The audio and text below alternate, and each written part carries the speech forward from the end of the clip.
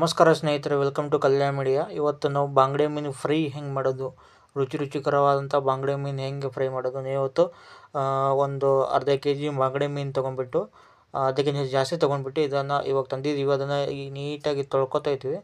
ಈ ನೀಟಾಗಿ ಎಲ್ಲ ಕ್ಲೀನ್ ಮಾಡ್ಕೊಂಡು ತೊಳ್ಕೊಬೇಕು ನಾವು.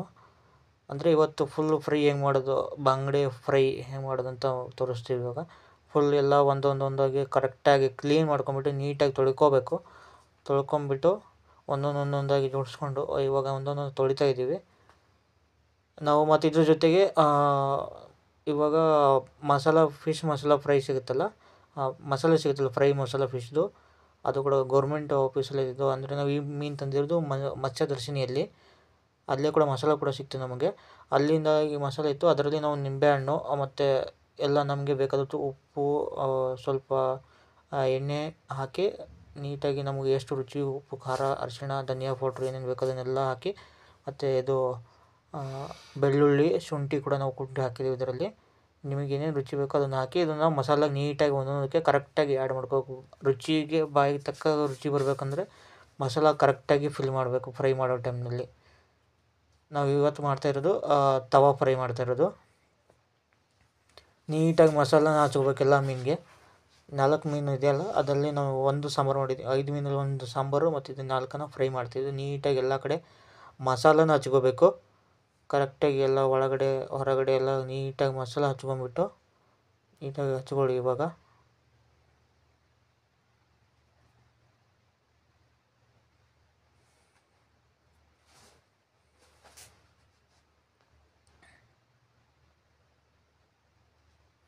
ನೀಟಾಗಿ ಹಚ್ಕೊಂಡ್ಬಿಟ್ಟು ಆಮೇಲೆ ಇದನ್ನು ನಾವು ಕರೆಕ್ಟಾಗಿ ಸ್ವಲ್ಪ ನೆನೆ ಬಿಡಬೇಕು. ಸ್ವಲ್ಪ ಹೊತ್ತು ಬಿಟ್ಟ ನಂತರ ಆಮೇಲೆ ಫ್ರಿಜ್ ಫ್ರಿಜ್ಜಲ್ಲಿ ಇಟ್ಕೋ ಆಮೇಲೆ ನಾವು ತವ ಮೇಲೆ ಸ್ವಲ್ಪ ಎಣ್ಣೆ ಹಾಕಿ ಸ್ಟಾರ್ಟ್ ಮಾಡೋ ಫ್ರೈ ಮಾಡೋಕ್ಕೆ. ಬೇಕಾದರೆ ನೀವು ಸ್ವಲ್ಪ ಬೆಳ್ಳುಳ್ಳಿ ಕೂಡ ಹಾಕ್ಬೋದು ಕರಿಬೇವು ಕೂಡ ಹಾಕ್ಬೋದು. ನಾವು ಬೆಳ್ಳುಳ್ಳಿ ಹಾಕಿದ್ದೀವಿ. ಇವಾಗ ಫ್ರೈ ಆಗ್ತಿದೆ ನೋಡಿ ಕರೆಕ್ಟಾಗಿ ಒಂದು ಎಂಟರಿಂದ ಹತ್ತು ನಿಮಿಷ ಫ್ರೈ ಮಾಡಬೇಕು. ಎರಡೇ ಕಡೆ ಕರೆಕ್ಟಾಗಿ ಅದೇನು ಗೊತ್ತಾಗುತ್ತೆ. ನಾವು ಸ್ವಲ್ಪ ಸ್ವಲ್ಪ ಮಸಾಲ ಕೂಡ ಹಾಕ್ಬೇಕು. ನಾವು. ರೆಡಿ ಮಾಡಬೇಕು ಸ್ವಲ್ಪ ಇರುತ್ತೆ ಪ್ಲೇಟ್ ಎಲ್ಲ. ಅದನ್ನು ಕರೆಕ್ಟಾಗಿ ನಾವು ಫ್ರೈ ಆದಂತೆ ಸ್ವಲ್ಪ ಸ್ವಲ್ಪ ಮೇಲುಗಡೆ ಹಾಕೊಂಡ್ರೆ ಅದು ಮಸಾಲ ಅದು ಒಳಗಡೆ ಏನಾಗುತ್ತೆ ಹಿಡ್ಕೊಳ್ಳುತ್ತೆ ಅವಾಗ ಅದು ತಿನ್ನೋ ಟೈಮಲ್ಲಿ ಎವ್ರಿ ಸ್ವಲ್ಪ ಸ್ವಲ್ಪ ಅದರಲ್ಲಿ ನಾವು ಪದ ಪದಲ್ಲೂ ಕೂಡ ನಿಮಗೆ ಮಸಾಲೆ ಸಿಗುತ್ತೆ ಅದು ಅದ್ರ ರುಚಿ. ಈಗ ನೋಡಿ ರೆಡಿ ಆಗಿದೆ ನೋಡಿ ನಮ್ಮ ತವಾ ಫ್ರೈ ಬಾಂಗ್ಡೆ ಫಿಶ್ ಈ ವಿಡಿಯೋ ನಿಮಗೆ ಇಷ್ಟ ಆಗಿದ್ದರೆ ಈ ಅಡುಗೆ ಇಷ್ಟ ಆಗಿದ್ದರೆ ಸಬ್ಸ್ಕ್ರೈಬ್ ಮಾಡಿ ಶೇರ್ ಮಾಡಿ ಎಲ್ಲರಿಗೂ. ಧನ್ಯವಾದಗಳು.